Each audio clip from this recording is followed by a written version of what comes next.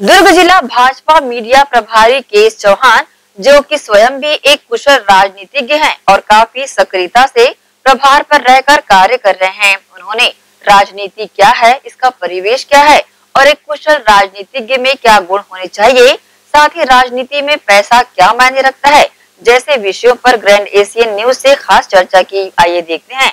चर्चा के खास अंश। नमस्कार दर्शकों, एक हमारी खास पेशकश फिर से शुरू हुई है चर्चा राजनीति की और ये पहला एपिसोड है और आज हमारे स्टूडियो में मौजूद है के चौहान जी।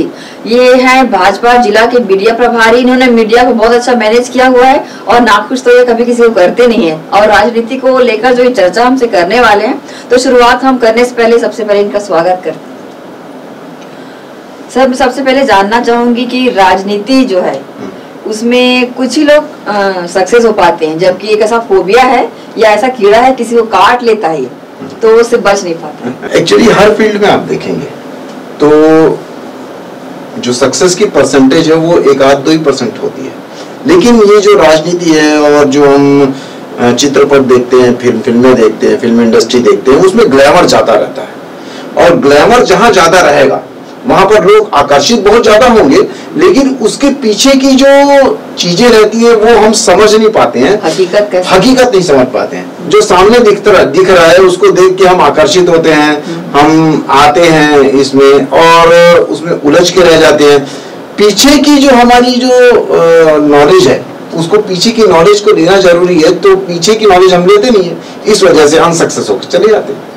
देखा गया है कि राजनीतिक परिवेश हम्म। बहुत आकर्षित करता है लोगों एक छोटा सा कार्य करता रहता है वो अपने पदाधिकारी को देखकर इतना अट्रैक्ट होता है या अपने आप को जगह महसूस करके वो अपने आप ही आकृष्ट होता चला जाता है राजनीतिक हम्म। परिवेश क्यों आकर्षित करता है लोगों देखिए आकर्षण का केंद्र भी है राजनीति और इस टाइप के जो मतलब फ़ील्ड होती हैं आकर्षण का केंद्र भी होता है लेकिन वो ये नहीं देखते हैं कि उसके पीछे की जो मेहनत है, उस नेता की जो, जिसको वो आदर्श मान रहा है, वो कहाँ से आया है? कौन सी उसकी ऐसी मेहनत हुई होगी? क्या उसने नॉलेज दिया होगा?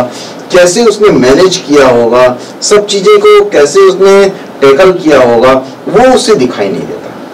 सिर्फ़ ये दिखाई देता है कि वो एक कुशल राजनेता है और वो ऐसे लोगों को संबोधित कर रहा है मंच माला माइक पा रहा है तो उसके बाद उसके पीछे की उसी, उसकी संघर्ष जो है, वो उससे वंचित रहता है और एक नेता अपने संघर्ष को बताता भी नहीं है और एक कुशल नेता को अपने संघर्ष को बताना भी नहीं चाहिए और वो कभी नहीं बताता है।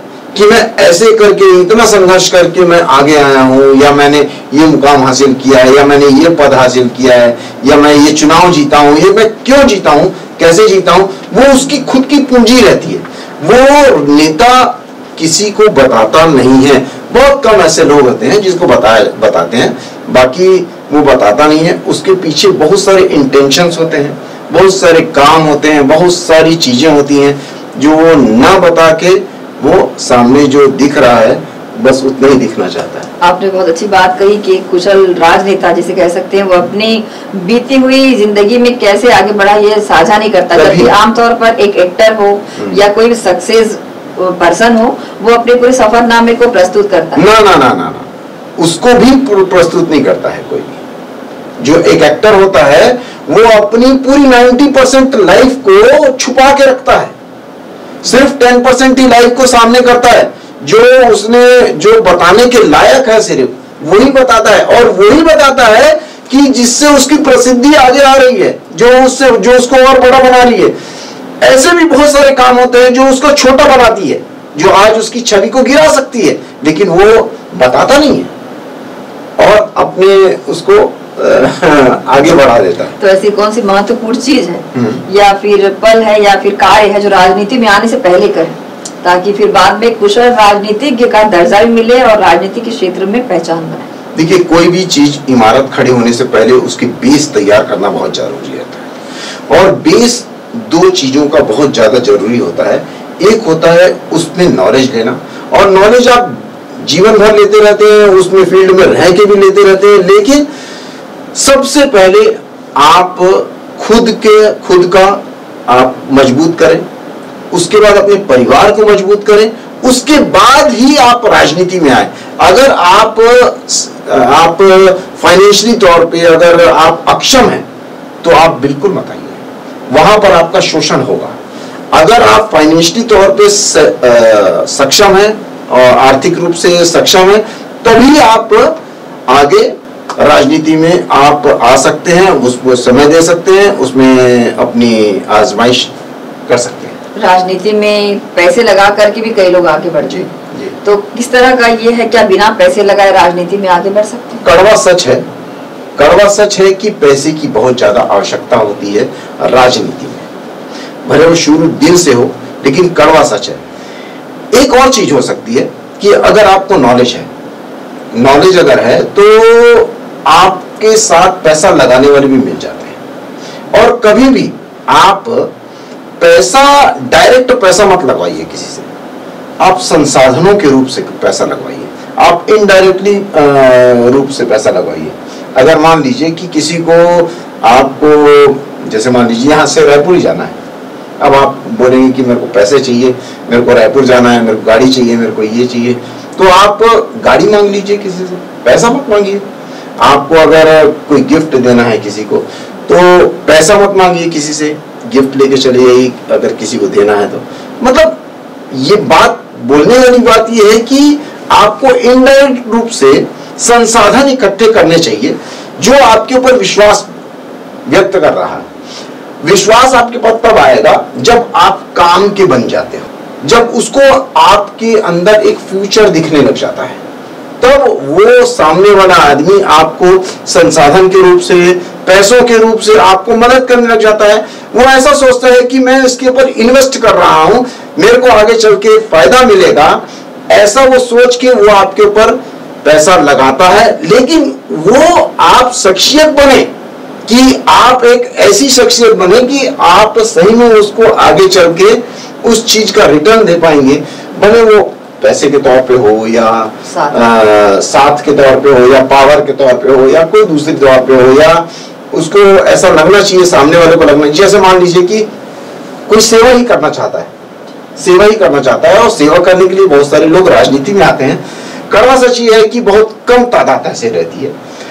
और सेवा करने जो लोग आते हैं, उसको अगर कोई ऐसा कोई इंसान है जो ये देख रहा है कि मैं उस जगह जाके सेवा नहीं कर सकता हूँ अपने समाज की तो वो भी आपके ऊपर पैसा लगाता है कि जो मैं नहीं कर पाया हूँ, वो मेरे ज़रिए वो करेगा। जैसे विवेकानंद जी विवेकानंद जी के गुरु थे रामकृष्ण परमहंस। रामकृष्ण परमहंस बूढ़े हो चुके थे, उनकी एनर्जी थोड़ी सी कम हो चुकी थी। और जब वो विवेकानंद जी उनको मिले तो वो रात भर रोते रोते नाचे थे कि मेरा काम अब ये करेगा। तो उन्होंने बहुत सारी अपनी शक्तियाँ दी, बहुत सारा उसका सपोर्ट किया और विवेकानंद जी को एक और ज़्यादा सक्षम और समाज को और ज़्यादा काम आने वाला बनाया। तो उसके ज़रिए, विवेकानंद जी के ज़रिए उन्होंने अपना काम किया। क्योंकि विवेकानंद जी में बुद्धि थी बहुत ज़्यादा। और इसमें इनमें जो था, रामकृष्ण परमहंस जो जो था, वो आत्मिक बल ज़्यादा था। वो इमोशनल बहुत ज़्यादा थे। और, लेकिन उनमें बहुत ज़्यादा बुद्धि नहीं थी, क्योंकि वो पढ़े लिखे नहीं थे, रामकृष्ण परमहंस जी। बुद्धि उनको मिलती है विवेकानंद जी से। और तब वो अपना जो काम कर सकते हैं, वो कर सकते हैं। तो आप भी विवेकानंद बने। ताकि कोई आपको परमहंस मिले और वो अपनी शक्तियाँ आपको दे, संसाधन आपको दे, ताकि आप समाज के काम आ सके और जो उनका ध्येय है, वो भी आप साध सके।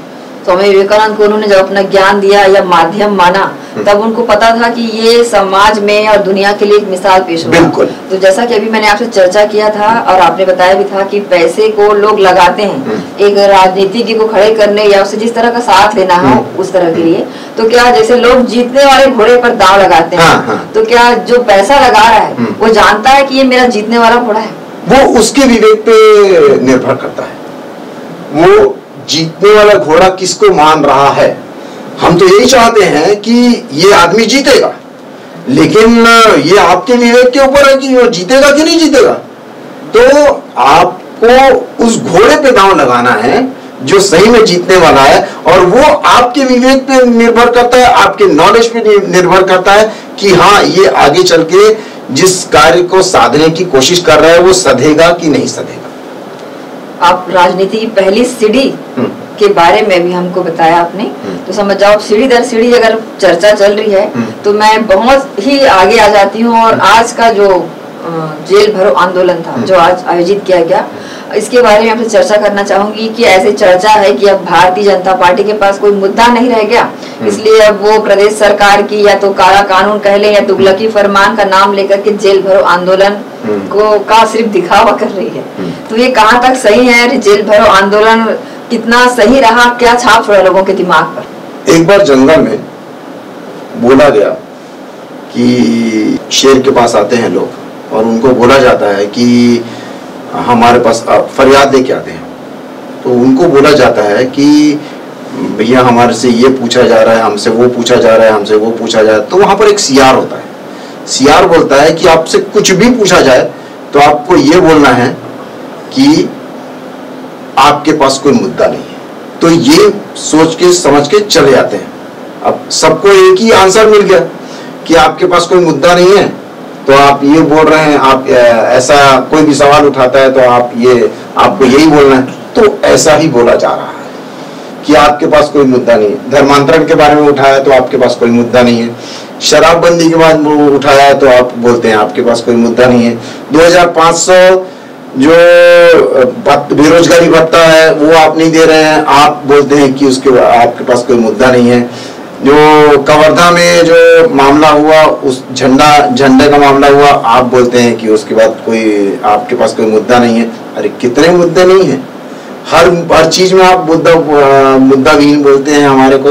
और आपको, क्योंकि ये सिर्फ़ सिखाया गया है कि आपको सिर्फ़ ये बोलना है, आप जवाब तो दे नहीं सकते। आपको सिर्फ़ ये बोलना है कि आपके पास मुद्दा नहीं अब बात करते हैं ये वाले मुद्दे। हमारे संविधान में एक अभिव्यक्ति की आज़ादी है। अभिव्यक्ति की आज़ादी हमें बोलने का पूरा हक है। हमें वो चीज़ बोलने का ज़रूर हक है जो हमारे फेवर में है या हमारे हक की लड़ाई है, उसको बोलने का हक है। आज आप सामुदायिक या सार्वजनिक जो धरना प्रदर्शन है या कोई भी प्रदर्शन है, उस पे आप चौदह कणिकाएँ, आपके 19 पॉइंट है, उसमें चौदह कणिकाओं का एक फॉर्म है, उसको आपको भरना है। उसके बाद देखिए परमिशन तो आपको लेनी पड़ती है, कोई भी धरने की। लेकिन उसमें आपको एफिडेविट देना है, अब। एफिडेविट देके आपको मना भी किया जा सकता है कि आप ये धरना नहीं ये धरना संचालित नहीं कर सकते, या आपको बीच में से अगर वो चौदह कनिकाएँ आप फॉलो नहीं कर रहे हैं तो आपको बीच में से उठा के भी मतलब उसको, उस धरना प्रदर्शन को खत्म भी किया जा सकता है। आज ये धरना प्रदर्शन खत्म, ये सोच कहाँ से निकलती? है ये सोच इसलिए निकलती है कि या तो आपके खिलाफ बहुत सारे धरना प्रदर्शन हो रहे हैं, जैसे किसान का धरना प्रदर्शन हो रहा है अनियमित कर्मचारियों का धरना प्रदर्शन हो रहा है, मनरेगा के कर्मचारियों का धरना प्रदर्शन हो रहा है और मितानिनों का धरना प्रदर्शन हो रहा है, उन सबको खत्म करने के लिए और आगे जो आपके डेढ़ साल बचे हुए हैं चुनाव में आगे भी धरना प्रदर्शन ना हो उसको भी लगाम लगाने के लिए कि हमारी हमारे सरकार के खिलाफ अराजकता मत फैले नेगेटिविटी मत फैले उसको पहले ही अपन दमन कर दिया जाए। ये दमनकारी सोच से ये चीज़ उपलब्ध उजागर हुई है। तो उसी के खिलाफ। ये दमनकारी नीति जो है ये प्रदेश सरकार की बिल्कुल बिल्कुल है। ये जो लॉ था एक्चुअली में ये संविधान में लिखा गया है कि आप इस टाइप का लॉ बना सकते हैं धरना को रोक सकते हैं धरना प्रदर्शन को रोक सकती रोक, रोका जा सकता है ये लॉ में है। वो स्वेच्छा के अनुसार है कि कोई भी राज्य सरकार कोई भी केंद्र सरकार ये इस टाइप के का, कानून को लागू कर सकती है। ये किसका लॉ था? ये अंग्रेज़ों का लॉ था। उस लॉ को आपने लेके और उसको संविधान बना दिया। अभी ये चौदह कनिकाएँ ने आप अगर पूरी नहीं करेंगे तो आप संविधानिक रूप से आप, ये गैर कानूनी काम कर रहे हैं और प्रशासन आपको रोक सकता है बिल्कुल। अगर ये आप बनाएँगे तभी तो आप रोक सकेंगे। उसके पहले रोक नहीं पा रहे थे आप। तो ये दमनकारी नीतियों के खिलाफ आज का धरना प्रदर्शन था हमारा और जो जो कि, हज़ारों की भीड़ में लोगों ने उसमें हिस्सा लिया। दुर्ग और भिलाई के जो जिला के सभी पदाधिकारियों ने बहुत बढ़ चढ़ के हिस्सा लिया और गिरफ्तारियाँ दी और उसके बाद तो आज के आंदोलन को पूरी तरह सफल मानते हैं? बिल्कुल हंड्रेड परसेंट। आंदोलन को पूरा आंदोलन पूरा सफल था। और इस आंदोलन का क्या लगता है आपको? आने वाले दिनों में कैसा असर पड़ेगा इस जेल भरो आंदोलन? अगर हम किसी भी चीज़ को एक उंगली भी उठाते हैं तो उसका भी असर होता है। एक पानी का गिलास यहाँ से इस साइड भी रखते हैं तो उसका भी असर होता है। टेबल साफ़ होता है हमारा। तो इतने हज़ारों लोगों का धरना प्रदर्शन, क्या असर नहीं आएगा? ये एक एक्चुअली कोई भी आंदोलन और कोई भी धरना और किसी के खिलाफ भी आवाज़ जो होती है ना, वो एक व्यक्ति विशेष के खिलाफ आवाज़, वो एक सिस्टम के खिलाफ आवाज़ होती है। कि हमारे को व्यवस्था से मतलब है। आप व्यवस्था सुधार दीजिए, हमारे को आपसे कोई लेना देना नहीं। जो इस व्यवस्था को गलत करता है, जो इस व्यवस्था को गलत रूप में लगा देता है तो उसके खिलाफ ये होता है। व्यक्ति के खिलाफ नहीं है, मैं पहले बता रहा हूँ। व्यवस्था के खिलाफ है। ये भी जो धरना प्रदर्शन है, वो व्यवस्था के खिलाफ है। हम व्यवस्था दुरुस्त कर दीजिए। हमारे को ना किसी से उधर से लेना, ना माधव को लेना, ना हमारे को, हमारी किसी से दोस्ती, ना किसी दुश्मनी। हम तो और ये ऐसा नहीं है कि ये राजनीतिक है सिर्फ़। ये एक आम आदमी का है। एक आम आदमी कोई भी धरना धरना प्रदर्शन नहीं कर सकता। कोई भी झंडी लेके बैठ नहीं सकता किसी के खिलाफ। बिल्कुल बैठ सकता है। ये हमारा संविधान बोलता है हमारे को। और संविधान ये बोलता है कि हमारे को अभिव्यक्ति की आज़ादी है, हमारे को अपने हकों की लड़ाई लड़नी है। और हम हम लड़ाई लड़ेंगे। और आप अगर चुपचाप बैठेंगे तो जैसा चल रहा है। और इसका असर क्या आएगा कि आज तो ये धरना प्रदर्शन प्रदर्शन ये धरना प्रदर्शन पे रोक लगाई गई, सार्वजनिक चीज़ों पे रोक लगाई गई है। इससे बड़े स्टेप फिर उठते हैं। फिर इससे बड़े स्टेप उठते हैं। तो उससे, उसको जवाब देने के लिए ये बहुत ज़रूरी सर, आपका बहुत बहुत धन्यवाद। आप हमारे स्टूडियो में आए, राजनीति की पहली सीढ़ी और आखिरी दोनों के बीच का हमसे चर्चा की। तो ये थे के चौहान सर, राजनीति को लेकर चर्चा हमारे साथ में की। इस नए खास पेशकश के पहले मेहमान थे और आने वाले दिनों में भी हमारे साथ कई मेहमान जुड़ेंगे और राजनीति को लेकर चर्चा करेंगे। तब तक के लिए नमस्कार।